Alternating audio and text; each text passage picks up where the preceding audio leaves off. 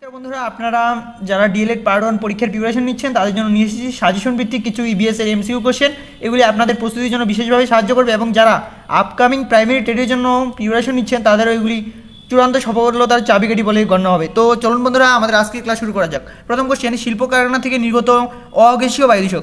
অর্থাৎ অগ্যাসীয় একটি বায়ুদূষক হলো শিল্প কারখানা থেকে যেটি নির্গত ম্যাঙ্গানিজ নেক্সট কোশ্চেন বায়ু দূষণের গ্রাহস্থ উৎস। তো বায়ু দূষণের গ্রাহস্থ উৎস হলো জীবাশ্ম জ্বালানি সমূহ জীবাশ্ম জ্বালানি এর ফলে বায়ু দূষণ যে হয়ে থাকে সেটি হলো বায়ু দূষণের গ্রাহস্থ উৎস। নেক্সট কোশ্চেন বায়ু দূষণের কৃষি উৎস হলো। তো কৃষিতে ব্যবহৃত যে কীটনাশক, সেগুলি ব্যবহারের ফলে আমাদের বায়ু দূষিত হয়ে থাকে। তো বায়ু দূষণের কৃষিজ উৎস হলো, কৃষিতে ব্যবহৃত কীটনাশক। Thirty one carbon monoxide gas বাতাসে মিশলে জনস্বাস্থ্যের কী ক্ষতি হয়? কার্বন মনোঅক্সাইড গ্যাস যদি বাতাসে ঢোকে, তাহলে শ্বাসকষ্ট হতে পারে আমাদের। যেমন নেক্সট কোশ্চেন অ্যাসিড বৃষ্টিতে কোন গ্যাস থাকে? তো অ্যাসিড বৃষ্টিতে যে গ্যাসটি থাকে সেটি হলো সালফার ডাইঅক্সাইড। তো এই সালফার ডাইঅক্সাইড, এটি অ্যাসিড বৃষ্টিতে একটি গ্যাস। তো অ্যাসিড বৃষ্টিতে কোন গ্যাস থাকে? না, সালফার ডাইঅক্সাইড। নেক্সট কোশ্চেন ফুসফুস সংক্রান্ত বিভিন্ন ব্যাধি সৃষ্টি করে কোন গ্যাস? তো ফুসফুস সংক্রান্ত বিভিন্ন ব্যাধি সৃষ্টি করে নাইট্রোজেনের অক্সাইড সময় তো নাইট্রোজেনের যে বিভিন্ন গ্যাসগুলি, সেগুলি। ক্লোরিন আমাদের শরীরে কি ক্ষতি করে? তো ক্লোরিনের প্রভাবে আমাদের শরীরে কী হতে পারে না, চোখের রোগ কনজাংটিভাইটিস নেক্সট কোশ্চেন ফুসফুসের ক্যান্সারের জন্য দায়ী গ্যাসটির নাম। তো ফুসফুসের ক্যান্সারের জন্য দায়ী যে গ্যাসটি, সেটি হলো ওজন গ্যাস। নেক্সট কোশ্চেন সিলিকোসিস রোগের কারণ কি? তো সিলিকের প্রভাবে হয়ে থাকে সিলিকোসিস রোগটি।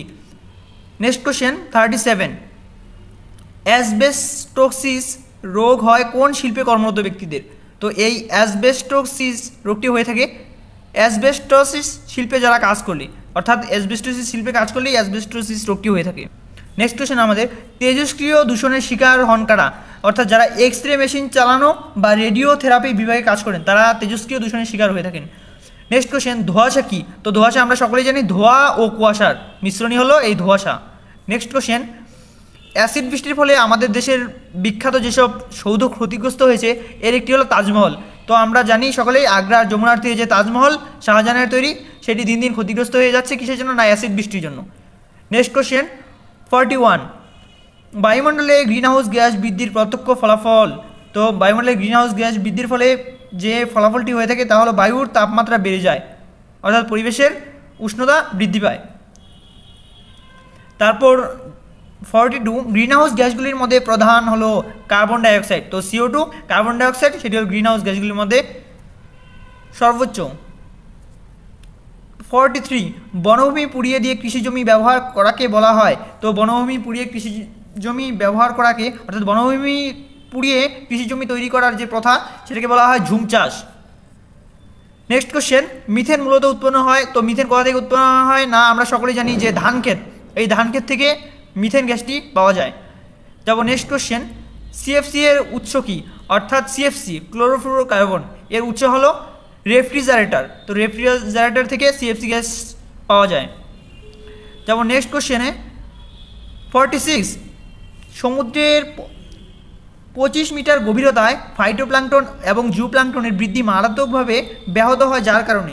তো ইউভি বি রশ্মি, যার প্রভাবে ফাইটোপ্লাঙ্কটন এবং জু প্লাঙ্কটন বৃদ্ধি মারাত্মকভাবে ব্যাহত হয়ে থাকে। নেক্সট কোশ্চেন আমাদের চোখে ছানি পড়ে কোন রশ্মির প্রভাবে? তো সূর্যের যে অতিবেগুনি রশ্মি, তার প্রভাবে আমাদের চোখে ছানি পড়তে পারে। তো বৃদ্ধ লোকেদের অনেকে দেখতে পাই চোখে ছানি পড়ে যায়, তো সেটি অতিবেগুনি রশ্মির প্রভাবে। তারপর চামড়ার ক্যান্সার বেশি হয় কোন অঞ্চলের মানুষদের? তো বিভিন্ন এলাকার নাম দিয়েছে, নিরক্ষীয়, ক্রান্তীয়, এশীয় মানুষদের।